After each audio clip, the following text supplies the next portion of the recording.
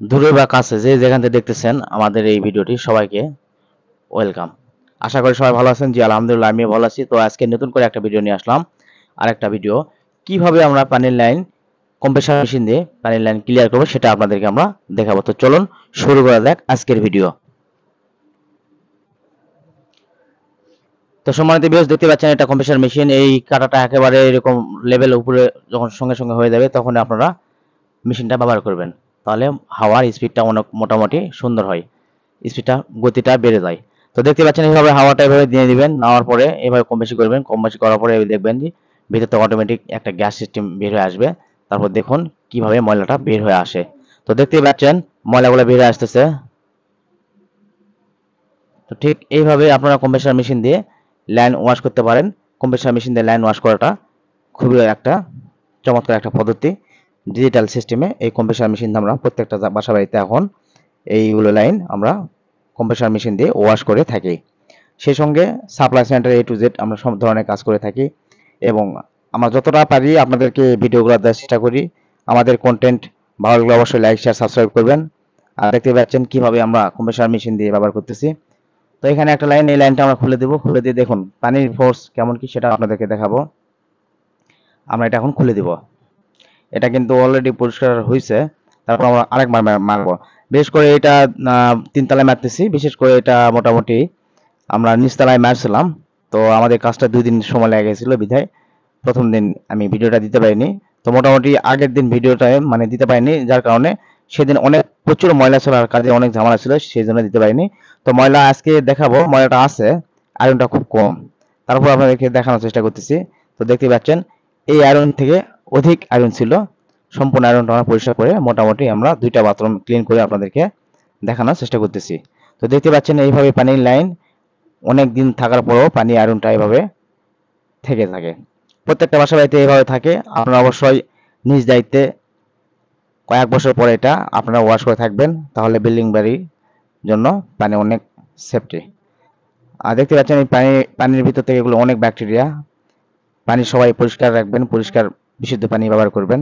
তো দেখতে পাচ্ছেন, ঠিক এইভাবে কম্প্রেসার মেশিন দিয়ে পানির লাইন ওয়াশ করলে খুব সুন্দরভাবে পানিটা অনেকটা আয়রনটা ক্লিন হয়। তো ঠিক আমরা এইভাবে প্রত্যেকটা বাসা বাড়িতে এইভাবে ক্লিয়ার করে থাকি। আর কম্প্রেসার মেশিনটা ঠিক এইভাবে দিয়ে দিয়ে, হাওয়াটা দিয়ে দিয়ে দিয়ে আমরা এইভাবে পরিষ্কার করি। আর সম্মানিত বিরোধ দেখতে পাচ্ছেন, আমরা আপনাদেরকে দেখাবো পানির ফোর্স আগের থেকে একটু হলো এটা বাড়ছে। আর ভিডিওটি ভালো লাগলে অবশ্যই লাইক শেয়ার সাবস্ক্রাইব করবেন। এবং আমাদের পাশে থাকার চেষ্টা করবেন। আমাদের প্রত্যেকটা কন্টেন্ট বানাতে অনেক শ্রম দিতে হয়। আশা করি অবশ্যই আপনারা আপনারা আমাদের সঙ্গে থাকবেন। এটুকু আমরা আপনাদের কাছে আশাবদ্ধ। তো ঠিক দেখতে পাচ্ছেন, এই যে আমরা পানির লাইনটা মোটামুটি ক্লিয়ার এটা হয়ে গেছে। তো আপনাদেরকে দেখানোর চেষ্টা করতেছি। তারপর আপনাদেরকে দেখাবো ট্যাঙ্কির লাইন কীভাবে কোন দিক দিয়ে কী দেওয়া আছে সেটাও দেখাবো। এই লাইনটা অনেক ডাক্সের ভিতর দেওয়া করেছিল খারাপ দিকে এটা হাওয়ার মারার পরে অনেক শ্রম টম দিয়ে এই লাইনটা আমরা ক্লিন করছি। তো দেখতেই পাচ্ছেন।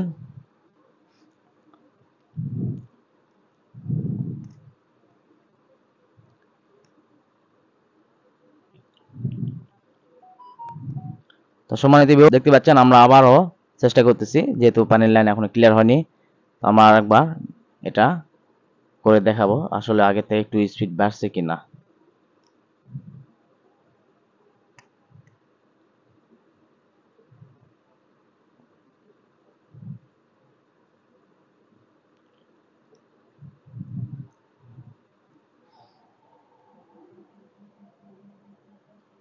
সম্মানিত বেশ দেখতে পাচ্ছেন, এখান থেকে আয়রন অনেক বের হয়ে আসতেছে। এটা পুরোপুরি ক্লিয়ার না হওয়া পর্যন্ত আমরা এটা এভাবে চেষ্টা চালিয়ে যাব। তো দেখুন, অবশেষে কীভাবে এটা ক্লিন হয়।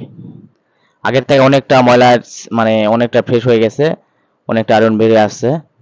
তো দেখুন, মোটামুটি বাথরুমটা কমপ্লিট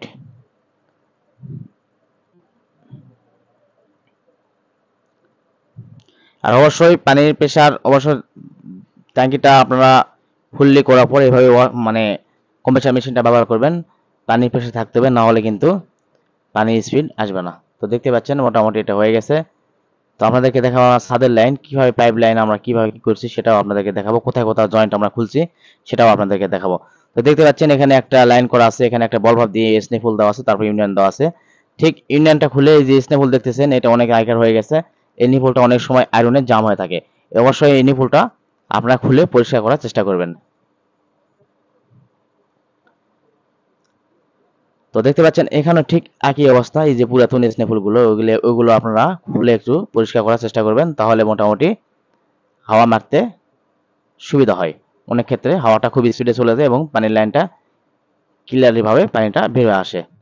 ঠিক এইভাবে আপনারা জয়েন্টগুলো খুলে একটু চেক করে নেবেন। আর দেখতে পাচ্ছেন এখানে পনেরোশো লিটার ট্যাঙ্কি দুইটা আছে, এই ট্যাঙ্কিটা আমরা ওয়াশ করব, সেটাও আপনাদেরকে দেখাবো। আর আমরা কিন্তু ওয়াশ করছি এখানে ড্যাম ফিক্স দিয়ে। পুরোপুরি বিল্ডিং এটা পাঁচতলা বিল্ডিং আমরা ছয়টা কেমিক্যাল ব্যবহার করছি, ছয়টা কেমিক্যাল ব্যবহার করে ড্রাগসটা আমরা কমপ্লিট করছি। তো আসলে অনেক আর শক্ত হওয়ার কারণে এটা হাওয়াটা পাস করতেছিলাম বিধায় আমরা এটা ব্যবহার করছিলাম। তো তারপর এটা ব্যবহার করলে অনেক সময় আয়রনটা নরম হয়ে যায়, তারপর হাওয়া মারলে এটা আপনা আপনি ভাবে চলে আসে। তো এই লাইনগুলো আমরা প্রত্যেকটা লাইন খুলে খুলে ড্যাম ফিক্স ম্যাজিক ড্যাম এগুলো আমরা দিয়ে লাইনগুলো ওয়াশ করছি। এই যে এখানে দেখতে পাচ্ছেন খারাপ একটা ফ্লাগ এই ফ্লাগ খুলে আমরা দিয়ে দিয়েছিলাম। দেওয়ার পরে কয়েক আধা ঘণ্টা পরে আমরা মেশিন মারছি, পুরো লাইনটা আমরা এটা এইভাবে ক্লিন ক্লিন করছি। আর দেখতে পাচ্ছেন দুইটা ট্যাঙ্কি এই দুইটা ট্যাঙ্কি আমরা ওয়াশ করব। আমরা তার জন্য প্রস্তুতি নিচ্ছি। আর আমাদের ভিডিওটি ভালো লাগলে অবশ্যই লাইক শেয়ার সাবস্ক্রাইব করবেন এবং আমাদের পাশে থাকবেন, আশা করি। আর অবশ্যই আপনারা আমাদের চ্যানেলের পাশে থাকবেন। যদি কোনো এখানে ভুল হয়, অবশ্যই ছোট ভাই হিসাবে নিজ নিজ মনে ক্ষমা করে দেওয়ার চেষ্টা করবেন। সবাই ভালো থাকবেন। আসসালামু আলাইকুম।